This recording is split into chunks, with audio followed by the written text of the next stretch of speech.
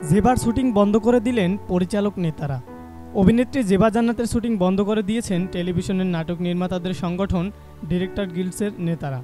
আজ রাজধানীর ধানমন্ডি জিগাতলা এলাকায় নাটকের শুটিং করেছিলেন জেবা জান্নাত। এই সময় স্থলে উপস্থিত হয়ে শুটিং বন্ধ করে দেয় সংগঠনের দশ থেকে বারো জনের একটি দল। এ দলের সাধারণ সম্পাদক কামরুজ্জামান সাগরও ছিলেন। বক্তব্য নেওয়ার জন্য সাগরকে একাধিকবার ফোন দেওয়া হলেও তিনি ধরেননি। বিষয়টি জেবা জান্নাত সাংবাদিককে নিশ্চিত করেছে। তিনি বলেন, ডিরেক্টর গিল্ডসের দশজন এসে আমার শুটিং বন্ধ করে দেন। তারা এখানে অবস্থান নেন। চার পাঁচ ঘণ্টা ছিলেন আমাদের ডিরেক্টর আজিজুল হকও নিষেধ করে দেন যেন শুটিং না করেন। তারা এখানে বসে বিড়ি সিগারেট খেয়ে তারপর চলে যান। আমাদের অনেক সময় নষ্ট হয়েছে। আমরা আবার শুটিং করেছি।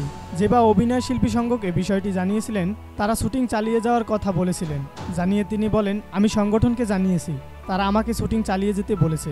আমার শুটিং চলবে।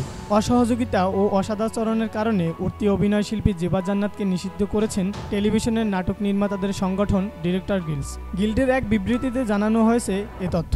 এই অভিযোগের পরিপ্রেক্ষিতে জেবা জান্নাতকে গত বিশ জুন থেকে নিষিদ্ধ করে সংগঠনটি। কিন্তু জেবা জান্নাত অব্যাহত রেখেছেন। বে নিউজ, ঢাকা।